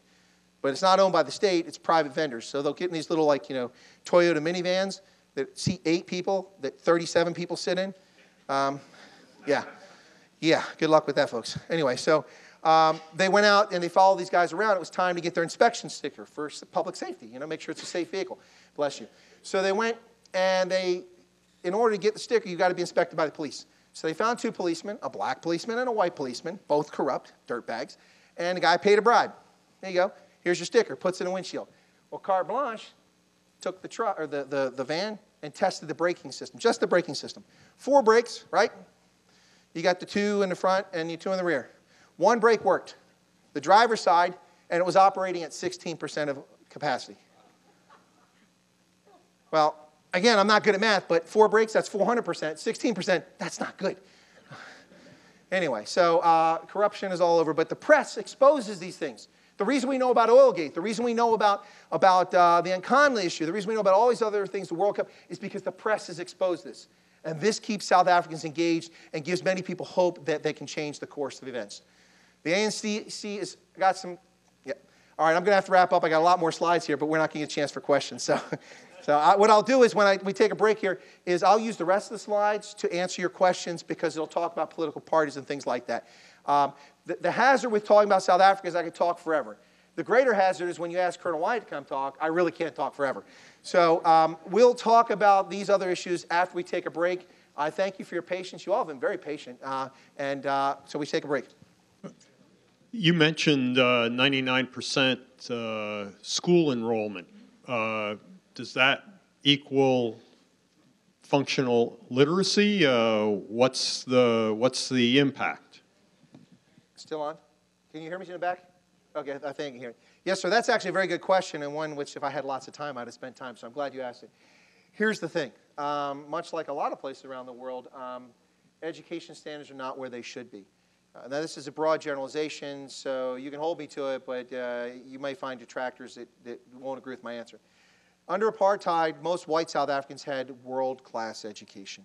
I mean, you know, it was incredibly inexpensive. If you want to send your kids, if you're from the UK, to Eton, very exclusive private school, that level of education. I don't know what we have here in the U.S. for those private schools. I went to public school, so I don't know. But, but that sort of thing, where you send your kids off to really ritzy school and they have manicured lawns, and people are playing cricket, and they, they're learning about calculus in sixth grade. I mean, I, I don't think I ever learned about calculus. But they get fantastic educations. Most whites got that. Even those who went to public schools got that because that's where the resources were put. Very few black African kids got anything beyond rudimentary skills to become literate at best. They weren't exactly being taught to be critical thinkers in most schools. There were exceptions, but that's the story for the most part. Unfortunately, and this is a broad generalization, after the end of apartheid, instead of reinforcing the good schools, what public money went to school? Now, there's a lot of private schools which are still at that standard in South Africa, private schools. But the public schools that were at that same level, much of that money has been redistributed and spread around. So they've, instead of making a bigger pie, although they're spending more on education, but they're not keeping up with population growth or needs, they spread the wealth around and they spread the talent around. And another insidious thing happened, unfortunately, too.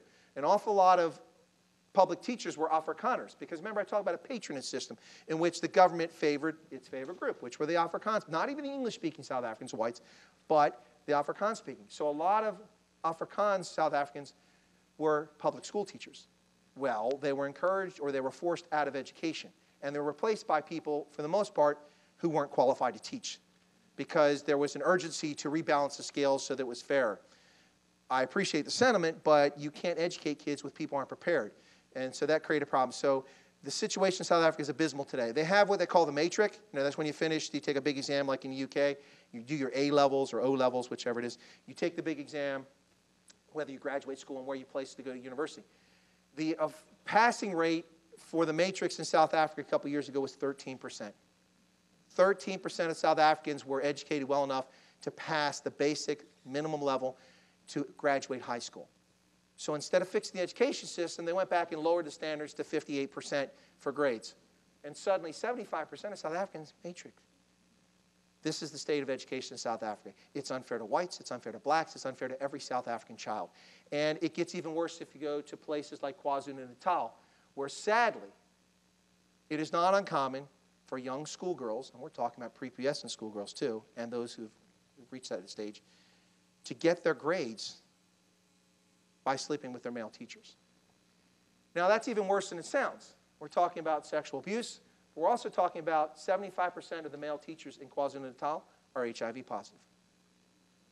So, pregnancy, damage to young bodies, and possibly HIV. Now, that's not everywhere, but it is a serious problem in education. So, yes, it, no, it's not at the level it needs to be. That said, Elon Musk is from South Africa, right? You know who he is, right? SpaceX, PayPal. Guy's a multi billionaire, got some great ideas, except this big crazy battery factory in California is not working out so well. But anyway, yes, yeah, so the education system. Yeah, Trevor Noah is also from South Africa, Sorry? correct? Trevor Noah. Trevor Noah, that's right. Yeah, well, uh, yeah, I used to think it was funny when he was in South Africa. yeah. Uh, my question is related to the nuclear program that uh, South Africa had in the 80s and 90s. Yes. Um, uh, how secure is that pile and, and the work that they have uh, developed over the years to have a nuclear pro, uh, weapon? Okay. Uh, South Africa actually detonated a nuclear bomb in the South Atlantic in the 1970s, although they've never admitted to it, but they did. No, that's not classified. I, I got it from WikiLeaks. Uh, no. you might want to read that sometime. Anyway, no, but uh, they did. They, they detonated a nuclear bomb. They developed a nuclear bomb. They had a nuclear program. Um, uh, there is total confidence by the, the rest of the world and the International Atomic Ener- Energy Agency that South Africa has completely disbanded its nuclear weapons program and they have nothing, not even precursor material. That said, they do have nuclear capacity. They have a nuclear power plant outside of Cape Town in Koeberg, which has two reactors. They're pebble bed reactors, and it's a unique design which they've attempted to sell. Unfortunately, one of the customers they want to sell it to is Iran. Um, so that's a problem for the United States and the International Atomic Energy Agency. Uh, they uh, are now, unfortunately, another corruption deal, and I'll end this, I answer your question, but just one more piece about atomic stuff. Another thing going on now is that Jacob Zuma in 2014 traveled to Russia where he met, uh, by the way, Jacob Zuma was the chief of the intelligence service. I mentioned that previously. Um, the guy running Russia, didn't he used to run the intelligence service, Putin? So two former spy masters got together. Zuma spent six days in Russia, and a lot of people are claiming that was the basis for a deal that's going down now with a company called Ross Rosatom, a Russian agency that builds nuclear power plants and they want to build a $70 billion nuclear power facility in South Africa. Money South Africa doesn't have. And oh, by the way, it's a country that has its own technology that's trying to export. So when we talk about corruption, imagine the money that will come off that deal. So, but yes, their nuclear weapons program is gone. I'm totally confident that's not a threat. I have yes, a real short, simple question. Your first slide of my answers are never short. Uh, this will be uh, Cape Town. Yes, ma'am. There's a circle of white buildings around a green area, and I wondered if those are public houses, uh, private houses, um, or government houses, the white ones. That, yeah. You talking about this here? Yeah, all, a big ring of white, uh, yeah. Oh, no, no, no, no, no, no. no. Oh, all no, private? I, we, we, maybe all of us, we put our money together, we might be able to buy a little efficiency apartment there. No, th- those are private housing. Yeah, that's, yeah. No, it's gorgeous location. Now, uh, by contrast, this area here, that's, that's the uh, soccer stadium. It's built for 2010. Not where they play rugby at, but they play soccer here. All of these are private residences, and that's the end of Africa down here, just past that point. But when you go out here, this is the main part of the metropolitan area, the center of town. If you go, I'm right there, if you go a little further this way, out into what's called the Cape Flatlands, that's where all those informal settlements are, and it's just a few kilometers from downtown. So you see incredibly wealthy next incredibly poor. Yes, sir. Okay. Hello, sir. I wanted to ask how great is the threat of, say, white extremist groups now, like the AWB, even after the death of Eugene Terre'Blanche, his death in like the late 2000s? How big of a threat and how and how violent uh, uh, uh, are they and a threat to the South African democracy, and what is the extent of that, as well as also extremist groups within even the black groups as well? Uh, the, the short answer to that is that uh, right extremism is zero threat to South Africa's democracy today. Uh, in 1994, uh, there were a lot of fears that the right wing extremists uh, would um, overthrow the existing government or they would undermine the move to democracy. Um, that all kind of blew up in their face when a group of them went to what was known as Bophuthatswana outside of Sun City, and they tried to support or help lead an overthrow of the existing government and it failed miserably. And you may remember images of the Mercedes, where two wounded members of a right wing Afrikaner movement were gunned down in cold blood by a policeman from that homeland. That kind of ended that threat. After that, in the middle part of the Ott decade, a group of uh, right wing white South Africans, Afrikaners, were frustrated with governance, and they formed something known as the Boeremag. And the Boeremag uh, was a group that uh, is kind of like a lot of um, groups in the 1960s when you went to these, uh, these socialist groups in the 1960s, there seemed to be a lot more undercover FBI and police agents that were part of the group than were actually, you know, radicals in the group. Um, the Boeremag was a real threat, but it was a handful of people, and they were ham-fisted, and they were infiltrated by the National Intelligence Services, and they were all rounded up, and they're in prison now. And there is no threat from the right wing that even the South African government acknowledges or concerned about today. From the other side, there are concerns not of terrorists, but political movements.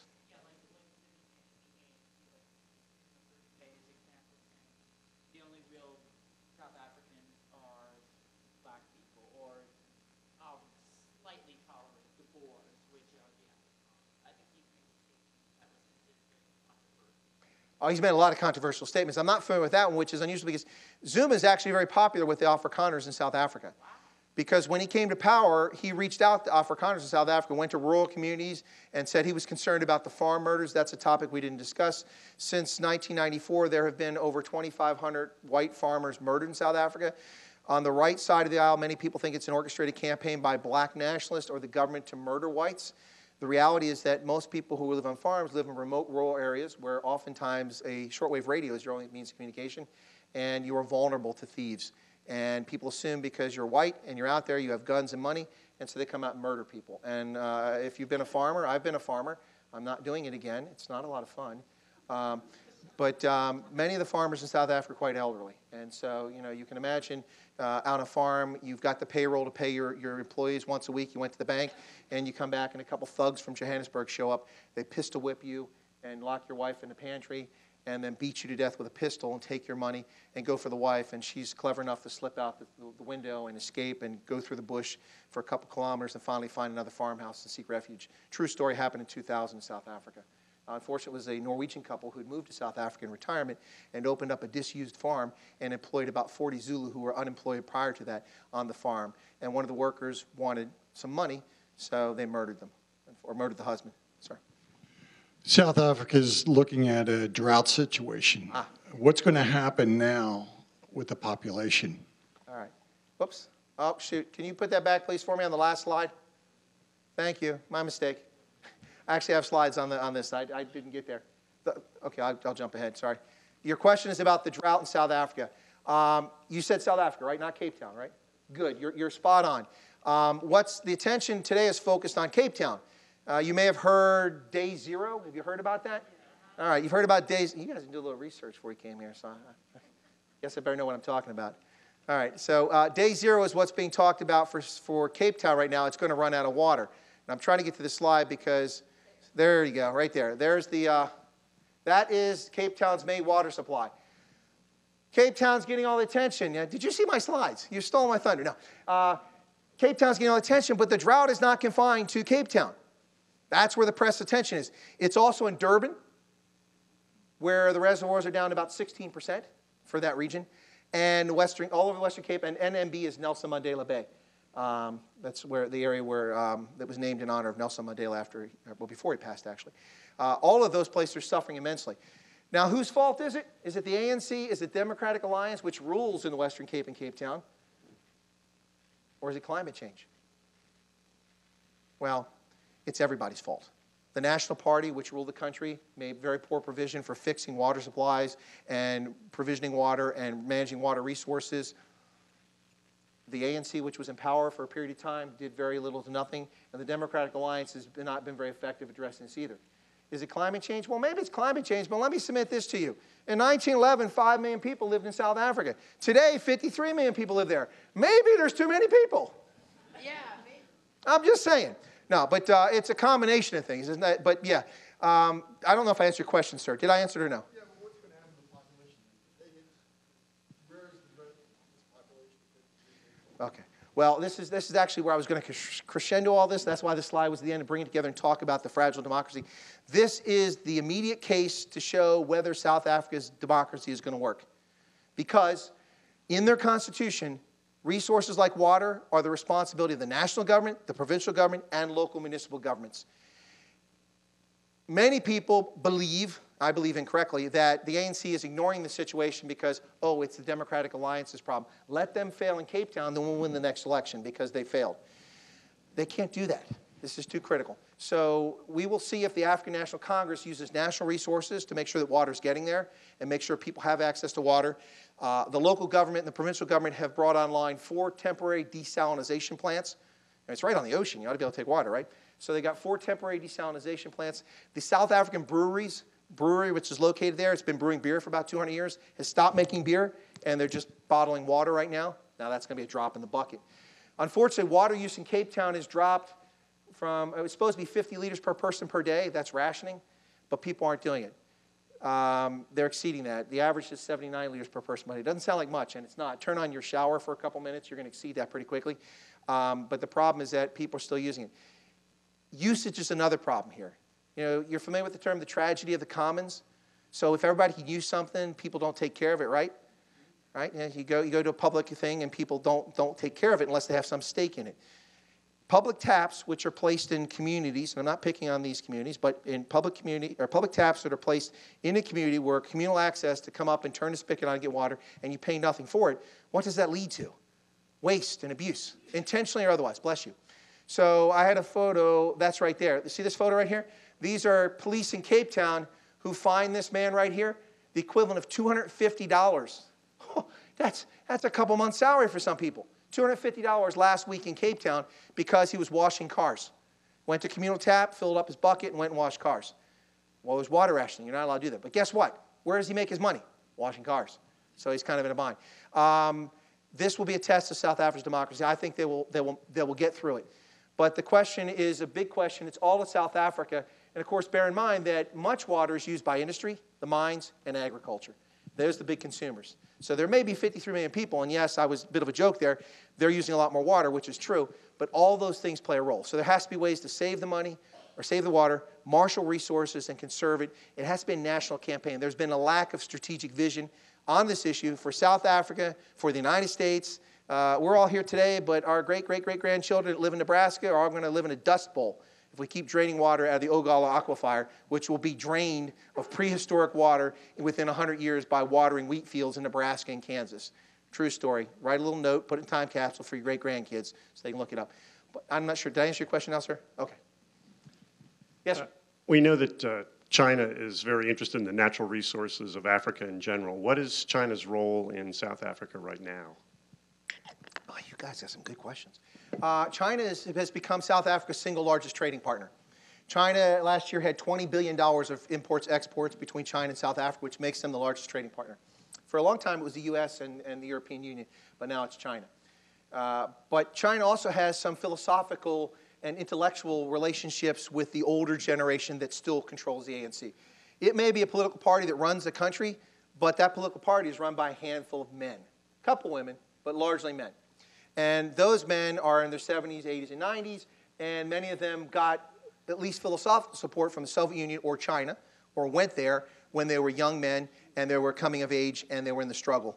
And that's where they got support from. So there are some links there. And you see it play out in crazy things like the Dalai Lama. I don't know what you all feel about the Dalai Lama, but I think he's a pretty cool guy. You know, uh, I think he's all right. I, have never heard him say anything that was mean about anybody or, or evil or racist or bigoted. Maybe he has, but I missed it. But the Dalai Lama has tried to go to South Africa three times in the last decade. And each time the government of South Africa has denied his visa. Now, is the Dalai Lama a child molester or a murderer or a killer? No, he's not. Of course not. Why would he not go to South Africa? Because the government of China doesn't want him there. So the ANC, paying back their friends from China, have denied this honorable man a chance to attend an anti racism conference sponsored by the United Nations, the 80th birthday of his close friend, Bishop Desmond Tutu, and on another occasion. And so it plays out in that respect. Um, Chinese foreign direct investment in South Africa is not that high. There's lots of other foreign investors there, but trade is on the uprise. Unfortunately for South Africans, a lot of that trade is stuff that they used to make. Before 2005, when the World, World Trade Organization's multi fiber agreement expired, it was an artificial thing that gave countries in southern Africa an advantage. If they brought cotton and material from other locations and assembled it in one place, a third country, then they got a tax break and they could ship things without duty to the Europe and to the United States and have large quotas. As a consequence of that, Taiwanese and Chinese firms built lots of textile firms in South Africa, Lesotho, Swaziland, Botswana, and Mozambique. And there were hundreds of thousands of jobs tied to the textile industry.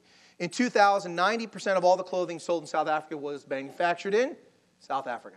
Today, barely 20% of the clothing, maybe 30%, is produced in South Africa. Why? Because the multi fiber agreement expired, the artificial advantage of that tax break disappeared, and South Africa, like the United States and everybody else, is inundated by the scale of China. China will always be able to produce things cheaper on scale than South Africa can. Billion and a half people, 53 million people. Industrial capacity beyond imagination, small industrial capacity. So the Chinese have swamped the South African market with their goods, and that has affected them. But politically, there is a strong relationship there. It's not an alliance, but a strong relationship. Did I get the question?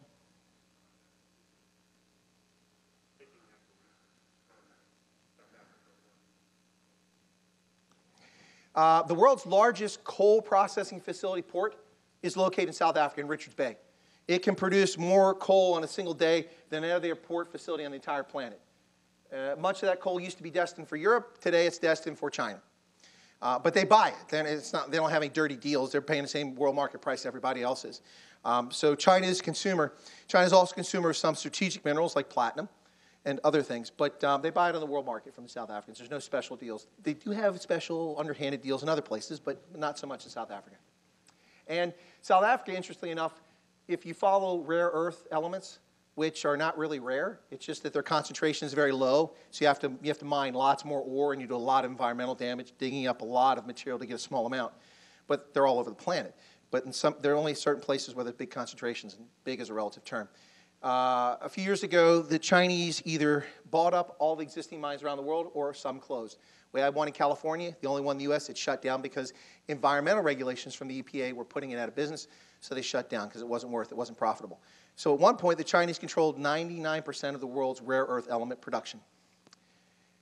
South Africa now has a rare earth element mine that is, is going in operation, and that's nothing to do with the Chinese. They did that on their own in the Karoo, that desert area I talked about. Next, sir. Sir, you mentioned that with all of the South African problems, they probably have the strongest economy of the 54 nations on the continent.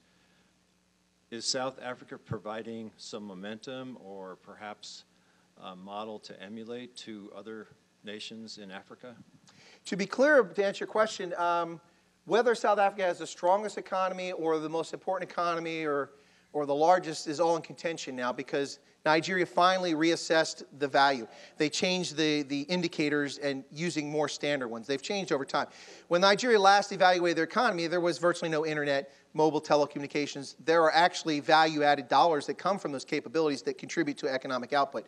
Uh, along with a number of other issues. So when Nigeria rebalanced, if you call it, their economic picture and came up with more than a doubling of their GDP, which people didn't believe, but it's, it's actually true. Their economy is huge. It's 190 million people in Nigeria, produces 2 million barrels of petroleum a day, and has a vibrant economy internally. Uh, so when they happen, a lot of people are saying that Nigeria is a more important player now. I would tell you that based on the fact that, that, that long established wealth, uh, financial networks, banking, and also experienced by South African multinationals or large corporations in foreign direct investment, South Africa is still a major player around the continent. You go many places like Uganda, and all the big shops and stores and little restaurants are brand names from South Africa ShopRite, Standard Bank. Uh, you also see other things like Nando's. Anyone familiar with Nando's? Or you see KFC. Yes, I know KFC is an American brand, but the local franchisee is a South African company around the continent. So South Africa does play a big role, particularly in foreign direct investment. Did I answer your question? Okay. Yes, sir. Okay. Chris, thanks for a great presentation. Really appreciated it. So I, I want to uh, ask about the media.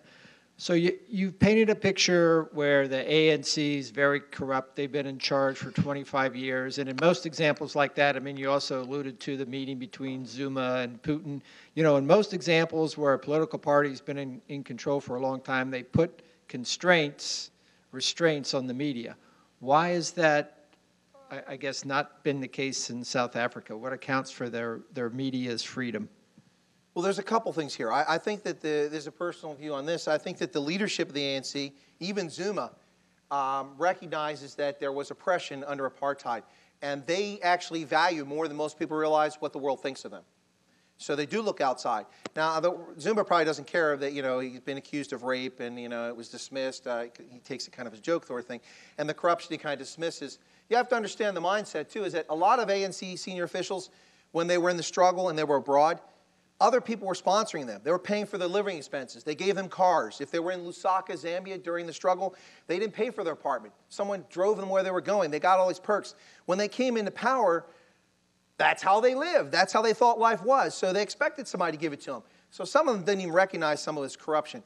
Um, so that, there's a bit of tone deafness on that. But the reason they haven't really stamped out the media, it's actually a good question. I would say because the media is actually very effective, and, and, and there have been lawsuits by the media, which they've won because the courts are independent.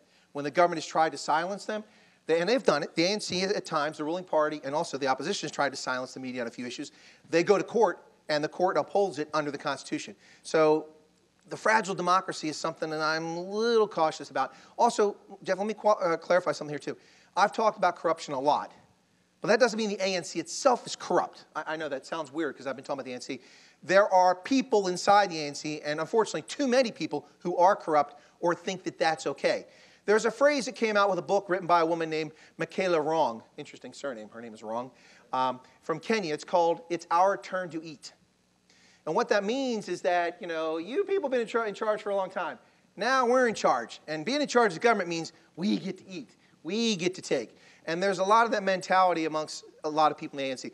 The party itself, I wouldn't say is corrupt.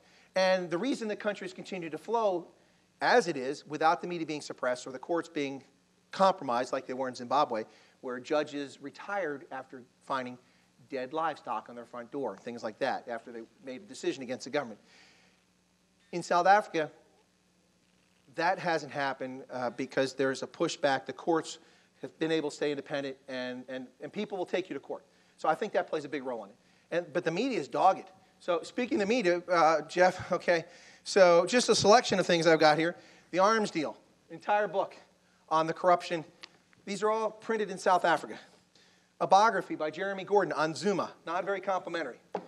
An Inconvenient Youth, a story about Julius Malema. We didn't even talk about him. He's the leader of the Economic Freedom Fighters, a leftist party that broke away from the ANC and is based largely on his personality. An Inconvenient Youth. Uh, crime Wave by Jonny Steinberg, one of the most famous uh, crime statistic authors in South Africa, and one of the few people that still told us about crime when the government stopped reporting statistics. By the way, the government was taken to court over that. How can you not? You have a responsibility to be transparent to the people of this country. We need to know what the crime statistics are. So they had to start reporting it again. Now, the case was never settled. The government just started reporting again. After the Party by Andrew Feinstein.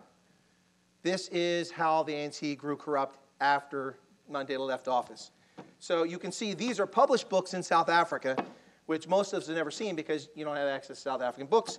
And if you do, you go to Amazon, and this $10 book is $850 because they have to import it. So, anyway, did I answer your question, Jeff? All right. Next question, please. It's 600, not 850. Uh, you know, the South Africans have a little bit of, uh, they're, they're, kind of very entertaining people if you, if you look at it. Uh, I picked this up in South Africa a few years ago, and it's, uh, they're very much into political satire, and they have a lot of fun with that, uh, political humor. Uh, this is the Racist Guide to the People of South Africa. so if you're a racist, you want to learn about Indian women, you can read about it here, or white women, or Afrikaans. So they're very cheeky, as the, as the English like to say. Yes, sir. okay, I do have another question. What is the relationship they have full diplomatic ties with the nation known as North Korea. What, uh, what uh, uh, have they done any productive efforts of trying to curb North Korea's nuclear program or trying to mediate between the government? And I know that because of the history of the ANC's left wing struggles, whether they lived in the Soviet Union, China, or North Korea, that they would ha- house the ANC members. What do you know or not know, or what? I don't know a lot about that, but what I do know is that uh, their, their interaction with North Korea has been quite limited. Uh, there's other actors in Africa that do more with North Korea, like Uganda. Uh, for instance, I had two NCOs working for me, non-commissioned officers, doing some training in Uganda. I went out to visit them, and I looked over about 100 yards away. There's two North Korean soldiers in Uganda. And Uganda had told us that they no longer work with the North Koreans. Somebody fibbed. Anyway, uh, but no, there's not much interaction with the South Africans. And I should give a caveat here, too, about something else. A lot of what I talk about is socialist leanings and that sort of thing. This is Wyatt's view, okay? So let me just explain this very quickly. You, you can't go and get statistics on this. I will tell you that, that within the ANC, fully 50% to two thirds of the people in the party, in my view, those who I've met and what I've observed, are committed to a multiracial democracy, market based capitalist society, but hoping to settle the, the differences amicably and, and, and, and make sure that people are risen out of poverty. One third of them are dyed in wool, leftist, communist, socialist, want to chase all the white people in the ocean and take everything. And that has been an internal conflict within the party. But largely, since 1994, the ANC has mostly tacked towards the center or possibly economically center right slightly. They may have espoused things, they say comrade, and they talk about their cadres, and they have party conferences like Soviet style parties. But they have largely, from a macroeconomic standpoint and from political standpoint, been a centrist party for the most part, which has been good for South Africa. But they have allowed corruption to creep in, and they are not fixing the endemic problems with education, with services, and with corruption especially. There was a hand here. Oh, one more, oh, okay. Yes, ma'am. Are there places in South Africa that would be appropriate cruise or vacation uh, destinations? Good question, and, and I, I did say that uh, it's, it's, it's a hazard doing this because it sounds like it's all bad. Let me tell you something. If I was not an American, I would never give that up for anything. But if I was born again, I guess if you're Shirley MacLaine, that happens. But, but um, okay, somebody got that reference. I'm glad. You know, as you get older, and uh, you start to wonder if people get your cultural references. So um, some of them are locked in a period of time. But that's Shirley MacLaine. Somebody got it. So um, if I were to come back and I couldn't be American, I got to tell you the only thing I want to be South African. It is an amazing country, full of amazing people. And you want to talk about tourism. Now, I will warn you this if you go there, you just got to be careful. You know, you got to have your spidey sense about you. You know, little hair in the back of your neck. If something seems strange, that's because it is strange. If something seems out of place, it is out of place. They have very effective criminals there. There was a busload of Dutch tourists who left Johannesburg Airport a few weeks ago. Johannesburg Airport, they drove down the street about five miles away. They got pulled over by a police car, except it wasn't a police car, but it looked identically like a police car. They put markings on it. They got out. They had fake uniforms on. They beat the living crap out of a few of the Dutch tourists who were in their 70s for the most part and robbed them blind. Welcome to South Africa. Uh, that said, there are world class places. Cape Town, gorgeous, wonderful location. Table Mountain. Finally got up there after 30 years of trying to get up there. Every time I went to Cape Town, I was working. I never had a chance to go to the top of the mountain. Amazing view from up there. Hiking. I've gone zip lining, you know, and everybody can do that at any age. Zip line, where you get on the cable and you slide across the canyon. You can do that all over South Africa. Wildlife, amazing wildlife. There are three places in Africa that I tell people if you want to see wild, four places if you want to go. Go to Tanzania for the Serengeti, the thousands of wildlife, go there. Go to Namibia for the Etosha Pan. Go to Botswana because there's more elephants in Botswana than the rest of the continent combined, by the way, in Botswana. And go to South Africa. You can go to Kruger National Park, among other places. It is an amazing place. Vistas, mountains, beautiful. You can go to Durban, you go surfing there. But don't go past the shark fence because there's great whites out there and they do eat surfers. Um, yeah, it's an amazing place. It, it, you could cruises, less so cruises. Uh, you can also take a train trip from, Johannes, from Cape Town to Johannesburg on the Blue Train, a famous train that's been around for over a century. Luxury cars. You see the vistas as you travel. It's that is that one's that train's safe. Okay, so that one I'll let you know about. but uh, yeah, it's an amazing place to visit. It is truly astonishing the different types of environments from the tropical settings in Durban, where I was one day on the beach in Durban. I'm not a beach person, I hate the water, I like mountains, but I was on the beach just for the experience in Durban, got in the car in my shorts, drove up to the Drakensberg Mountains, about three hours away, four hours away, where it started to snow. And continued on to, Johannesburg. By the time I got there, there were two inches of snow. I checked into my Holiday Inn. They do have a Holiday Inn, and they're actually quite nice in, in South Africa. And I listened to the news reports and watched TV reports about hundreds of motors stranded on the highway that I'd just driven because they're not accustomed to snow. I'm a Viking. I can handle the snow, so it didn't bother me. But uh, amazing different vistas. That said, there's also a lot of dangerous crime there. So if you're aware of what's going on, you keep your spidey sense about you, you can have a wonderful visit. South Africa's an amazing place to visit. It really is. Uh, and it's just a cornucopia of people, languages, culture, and it's just vistas are just amazing.